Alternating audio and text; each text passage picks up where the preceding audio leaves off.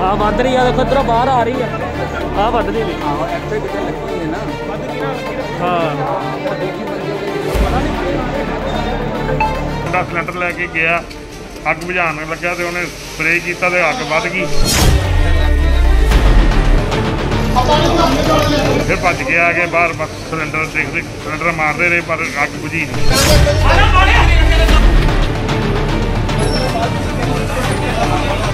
ਬਿਜਲੀ ਦੇ ਸਰਕਟ ਦੇ ਨਾਲ ਜਿਹੜੀ ਆ ਇਹ ਅਚਾਨਕ ਅੱਗ ਲੱਗੀ ਹੈਗੀ ਆ।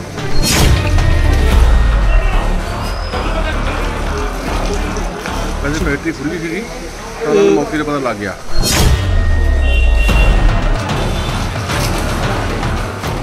ਮੁੰਡਾ ਸਮਾਨ ਕੱਢਣ ਗਿਆ ਸੀ ਤੇ ਦੇਖਿਆ ਅੱਗ ਲੱਗੀ ਆ ਮੁੰਡਾ ਸਿਲੰਡਰ ਲੈ ਕੇ ਗਿਆ। ਅੱਗ ਬੁਝਾਉਣ ਲੱਗਾ ਤੇ ਉਹਨੇ ਸਪਰੇਅ ਕੀਤਾ ਤੇ ਅੱਗ ਵੱਧ ਗਈ। ਫਿਰ ਭੱਜ ਕੇ ਆ ਗਏ ਬਾਹਰ ਬਸ ਸਿਲੰਡਰ ਦੇਖਦੇ ਸਿਲੰਡਰ ਮਾਰਦੇ ਰਹੇ ਪਰ ਅੱਗ ਬੁਝੀ ਨਹੀਂ ਫਿਰ ਇਹ ਕਿੰਨੇ ਕੁ ਵਜੇ ਦੀ ਗੱਲ ਹੈ ਜਿਹੜੀ ਘਟਨਾ ਜਿਹੜੀ ਹੋਈ ਹੈ ਇਹ? ਹੈ ਕਿੰਨਾ ਵਜੇ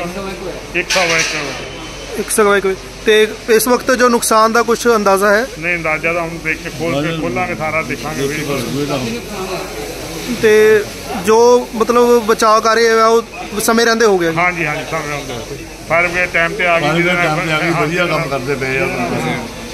ਤੇ ਲੋਕਾਂ ਬਾਰੇ ਥੋੜਾ ਇੱਥੇ ਕੋਈ ਕਿਸੇ ਨੂੰ ਕੁਝ ਬੜਾ ਸਹਿਯੋਗ ਕੀਤਾ ਬਹੁਤ ਸਹਿਯੋਗ ਕੀਤਾ ਬਹੁਤ ਨਹੀਂ ਕਿਸੇ ਦੇ ਕੋਈ ਜਾਨ ਮਾਲ ਦੀ ਹਾਨੀ ਵਗੈਰਾ? ਜਾਨ ਮਾਲ ਦੀ ਹਾਲ ਦੀ ਕੁਛ ਨਹੀਂ ਹੋਈ। ਸਰ ਇਹ ਜੋ ਘਟਨਾ ਵਾਪਰੀ ਹੈ ਇਹਦੇ ਬਾਰੇ ਥੋੜਾ ਦੱਸ ਕੋਈ? ਇਹ ਇੱਕ ਫੈਕਟਰੀ ਹੈਗੀ ਸੀ। ਉਹਦਾ ਗਡਾਊਨ ਹੈਗਾ ਜੀ ਤੇ ਕਿਤੇ ਸੜਕ ਬਿਜਲੀ ਦੇ ਸਰਕਟ ਦੇ ਨਾਲ ਜਿਹੜੀ ਆ ਇਹ ਅਚਾਨਕ ਅੱਗ ਲੱਗੀ ਹੈਗੀ ਆ। ਵੈਸੇ ਫੈਕਟਰੀ ਖੁੱਲੀ ਸੀਗੀ ਤਾਂ ਉਹਨਾਂ ਨੂੰ ਮੌਕੇ ਤੇ ਪਤਾ ਲੱਗ ਗਿਆ। ਇਹ ਸਰ ਇਸ ਜਗ੍ਹਾ ਬਾਰੇ ਥੋੜਾ ਦੱਸੋ ਕਿਹੜੀ ਜਗ੍ਹਾ 'ਚ ਲੱਗੀ ਹੈ ਅੱਗ? ਇਹ ਇਹ ਸਰ ਕੁੱਤਾ ਸੱਦਾ ਕਹਿੰਦੇ ਆ ਵਕੀਲਾ ਮਹੱਲਾ ਕਿਹੜਾ ਪੈਂਦਾ ਦੱਸ ਹਿੰਦੀ ਬਾਜ਼ਾਰ ਹਿੰਦੀ ਬਾਜ਼ਾਰ ਕਹਿੰਦੇ ਆ ਜੀ ਇਹਨੂੰ ਜਿਹੜੇ ਥਾਪਰਾ ਮਹੱਲਾ ਪੈਂਦਾ। ਮਾਈ ਚੌਕ। ਠੀਕ ਹੈ ਜੀ। ਮਾਈ ਬਾਪ ਚੌਕ ਹੈ। ਬਾਈ ਬਾਬ ਚੌਂਕ ਹੈ? ਮਾਈ ਬਾਪ ਬਾਈ ਬਾਬ ਚੌਂਕ। ਮਾਈ ਬਾਪ ਚੌਕ। ਇਹ ਜਿਹੜੀ ਜਗ੍ਹਾ ਤੇ ਅੱਗ ਵਗੈਰਾ ਜਿਹੜੇ ਤੁਹਾਨੂੰ ਸੂਚਨਾ ਕਿੰਨੇ ਕੁ ਵਜੇ ਮਿਲ ਗਈ ਸੀਗੀ ਜੀ ਅੱਗ ਦੀ? ਨਾਲ ਤਾਂ ਉਹਨੇ ਮੌਕੇ ਤੇ ਜਦੋਂ ਤਾਂ ਬਾਅਦ ਹੀ ਮਿਲੀ ਪਈ ਆ ਅੱਛਾ। ਜਦੋਂ ਵੀ ਉਹਦੇ ਨਾਲ ਹੀ ਫਿਰ ਵੀ ਨਾਲ ਗੱਲਬਾਤ ਕੀਤੀ। ਮੌਕੇ ਤੇ ਫਿਰ ਵੀ ਮੌਕੇ ਤੇ ਆ ਗਈ ਸੀ ਤੋ-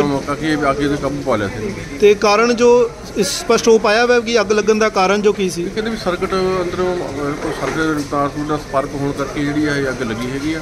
ਸੋ ਕੋਈ ਕੱਪੜੇ ਨੂੰ ਨੁਕਸਾਨ ਪੈਣ ਕੋਈ ਜਾਨ ਮਾਲ ਦੇ ਨੁਕਸਾਨ ਦੀ ਕੁਝ ਮਾਲੀ ਨੁਕਸਾਨ ਤਾਂ ਹੈਗਾ ਲੇਕਿਨ ਜਾਨੀ ਨੁਕਸਾਨ ਦਾ ਜਾਨੀ ਨੁਕਸਾਨ ਦਾ ਕੋਈ- ਨਹੀਂ ਨਾਨੀ ਦਾ ਠੀਕ ਹੋ ਗਿਆ ਮਾਲੀ ਨੁਕਸਾਨ ਦਾ ਕੋਈ ਅੰਦਾਜ਼ਾ ਇਸ ਵਕਤ ਇਹ ਲਗਾ ਮਾਲਕਾਂ ਸਕਦੇ ਪਤਾ ਕਰਕੇ ਦੱਸੂ ਵੀ ਇਹਨਾਂ ਨੇ ਕੀ ਕੀ ਮਾਲ ਕਿਹੜਾ ਅੰਦਰ ਪਿਆ ਸੀਗਾ ਉਹ ਵੀ ਦੱਸ ਸਕਦੇ ਆ। ਬਾਕੀ ਜਿਹੜੀ ਅੱਗ ਤੇ ਕਾਬੂ ਪਾ ਲਿਆ ਹੈਗਾ ਬੰਦੇ ਕਰ ਵੀ ਲੱਗੇ ਆ। ਫਾਇਰ ਬ੍ਰਿਗੇਡ ਦੀਆਂ ਟੀਮਾਂ ਵੱਲੋਂ ਸਮੇਂ ਤੇ ਬਹੁਤ ਪੂਰਾ ਤਾਂ ਸਾਥ ਦਿੱਤਾ ਉਹਨਾਂ ਨੇ ਵਧੀਆ ਅੱਗ ਤੇ ਕਾਬੂ ਪਾ ਲਿਆ ਹੈਗਾ ਕੋਈ ਗੱਲ ਸਮੇਂ ਸਿਰ ਫਾਇਰ ਬ੍ਰਿਗੇਡ ਨੇ ਕਾਬੂ ਪਾ ਲਿਆ ਹਾਂ ਬਾਰੇ ਲਿਆ।